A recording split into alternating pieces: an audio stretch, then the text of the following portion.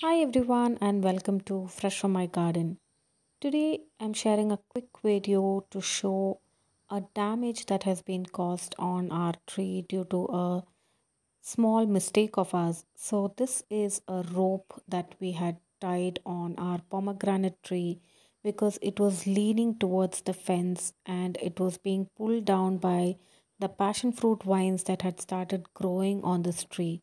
We've had this tree in our garden for more than five years and it is producing a lot of fruits.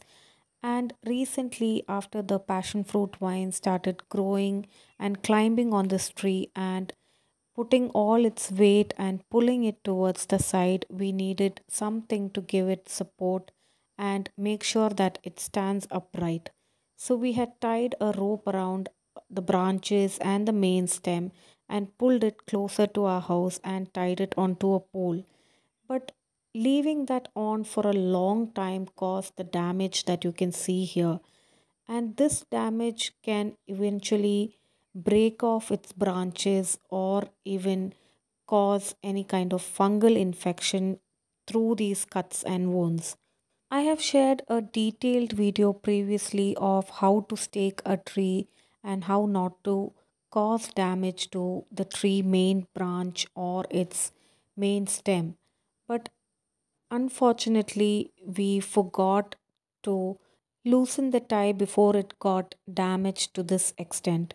So, if you are growing trees in your house and if you need to support them, make sure that you don't tie any kind of string or rope very tightly on the main branch and give it enough of breathing space so that once the plant grows and expands, the tree trunk or the branches have space to expand and the rope or the string doesn't cut through the branch and cause damage.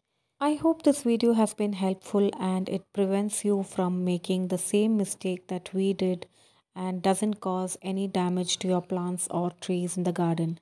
And hopefully our tree branch will heal soon. Thanks for watching Fresh from my garden.